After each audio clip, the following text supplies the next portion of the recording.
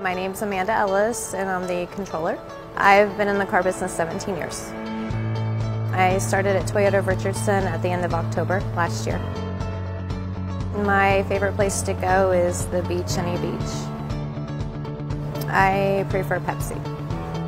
Um, on both, I prefer Instagram.